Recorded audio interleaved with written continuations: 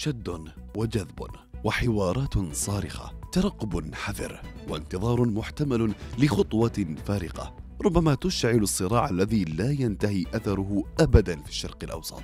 الذي ساق له القدر أن يعيش على مدى التاريخ ساخنا لا تهدأ ثورته وصخبه. إيران تسعى ما بين لحظة وأخرى للوفاء بالعهد الذي قطعته على نفسها. بعدما استهدف الكيان جسد رئيس المكتب السياسي لحركة حماس إسماعيل هنيه بصاروخ موجه في مقر إقامته بمبنى المحاربين القدامى شمال العاصمة الإيرانية طهران. لكن مع الحديث عن توقيت مناسب للهجوم المحتمل زادت الأيام وبدأ اليأس يتسرب إلى نفوس هؤلاء الذين يدعمون الجانب الإيراني في تعهده بالرد على اختراق مجالها الجوي من قبل الكيان. فماذا لو كانت إيران تمارس لعبة نفسية على إسرائيل؟ فما بين الهجوم الوشيك والدعوات الصريحة من قبل بعض القوى الإقليمية بالتراجع عن التهديدات الموجهة إلى الكيان؟ ربما لن تهاجم إيران أبدا. في تصريح مثير للجدل. أفاد مسؤول إيراني بارز أن إيران تطلق حملة حرب نفسية ضد إسرائيل مشيرا إلى أن التهديدات التي يتم تداولها بشأن هجوم محتمل.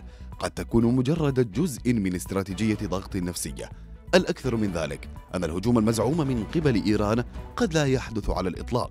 إيران تستخدم أسلوب الحرب النفسية كوسيلة لزعزعة الاستقرار النفسي والسياسي داخل إسرائيل دون الحاجة إلى اللجوء إلى التصعيد العسكري الفعلي.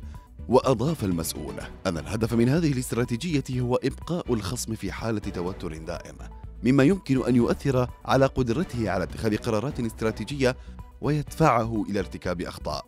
كما أكد المسؤول الإيراني أن التهديدات المتبادلة بين إسرائيل وإيران لا تعكس بالضرورة نية فعلية للهجوم بل على العكس فهي جزء من تكتيك أوسع يهدف إلى إرباك الخصم وزيادة ضغوطه النفسية.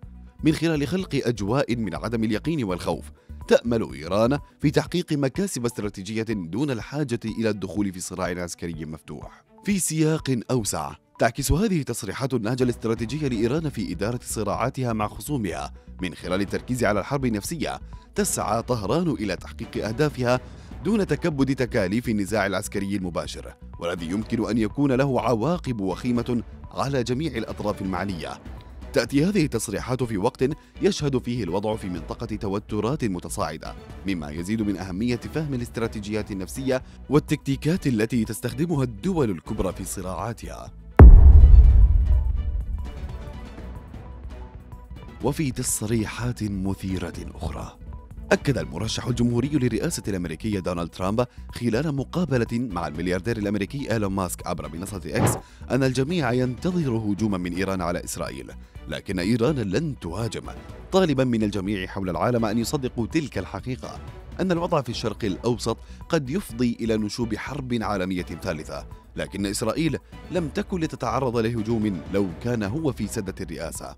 في المقابلة أكد ترامب أن التهديد الإيراني ضد إسرائيل ليس واقعيا كما يعتقد البعض وقال الجميع يتوقع هجوما من إيران لكن الإيرانيين لن يهاجموا. صدقوني لقد عرفوا ألا يعبثوا عندما كنت رئيسا.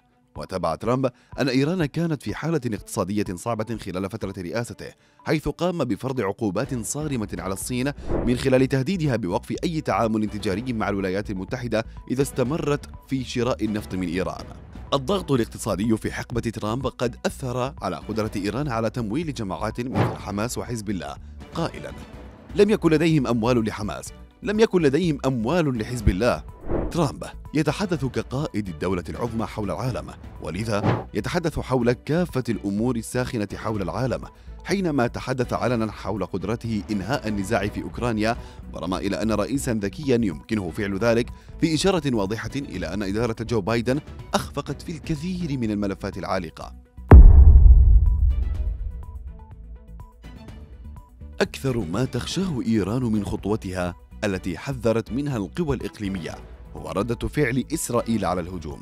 فيما بعد الضربة الإيرانية ستكون هناك حاجة ملحة في الجانب الآخر للرد على المستوى. وهو ما أفادت به صحيفة هارتز الإسرائيلية بأن القيادة الإيرانية تشهد انقساما داخليا حادا بشأن كيفية الرد على التهديدات والتوترات الإقليمية المتصاعدة. وأبرزت الصحيفة أن الرئيس الإيراني الجديد مسعود بزشكيان الذي تولى منصبه مؤخرا قد جعل من أولويات أجندته إصلاح الاقتصاد الإيراني وتعزيز العلاقات الدولية. في هذا السياق أبدى بسشكيان قلقه من الهجوم المحتمل الذي قد يخلف عواقب وخيمة على بلاده. إيران أكدت على حقها في الدفاع عن النفس مشيرة إلى أن هذا الحق ليس مرتبطا بوقف إطلاق النار في غزة ومع ذلك تأمل إيران في أن يكون ردها محدد التوقيت وأن يتم تنفيذه بطريقة لا تؤثر سلبا على جهود وقف إطلاق النار المحتملة. الحديث داخل إيران غامض بما يكفي لتمكين الجميع من تفسيره على النحو الذي يرضيهم. فأي معلومات مسربة لم تلتزم بتحديد طبيعة وتوقيت الرد. كما لم توضح كيف سيتماشى هذا الرد مع رغبة الأطراف في التوصل إلى وقف إطلاق النار في غزة. الذي تسعى جميع الأطراف إلى تحقيقه قبل جلسة المفاوضات المرتقبة يوم الخميس. في هذا السياق تعمل واشنطن بجد على بذل جهود دبلوماسية مكثفة لإقناع طهران بالنظر إلى وقف إطلاق النار في غزة كبديل للرد الانتقامي. وتسعى الولايات المتحدة إلى دفع إيران نحو اتخاذ رد محدود لا يؤدي إلى تصعيد النزاع ويجنب المنطقة الدخول في حرب أوسع نطاقا. تأتي هذه التحركات في إطار محاولة لتخفيف حدة التوترات وتعزيز الاستقرار الإقليمي في ظل التصعيد العسكري المحتمل. تسعى الولايات المتحدة إلى تجنب وقوع المزيد من الأضرار وتعزيز جهود السلام والتهدئة في منطقة تعاني من الأزمات المتعددة. كما يعكس الانقسام داخل القيادة الإيرانية التحديات الكبيرة التي تواجهها طهران في اتخاذ قرارات استراتيجية وسط الضغوط الداخلية والخارجية. بينما يسعى بتشيكيان إلى تحسين الوضع الاقتصادي وتعزيز العلاقات الدولية. يواجه تحديات معقدة بشأن كيفية التعامل مع الوضع الإقليمي المتوتر وكيفية تحقيق توازن بين الرد العسكري الضروري والحفاظ على الاستقرار في المنطقة.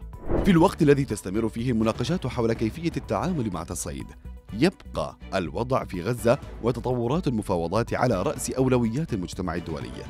الذي يترقب نتائج هذه الجهود لمعرفة كيفية تأثيرها على الأمن الإقليمي والاستقرار الدولي فهل تهاجم إيران؟